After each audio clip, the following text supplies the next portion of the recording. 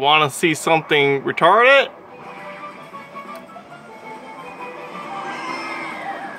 Bullshit.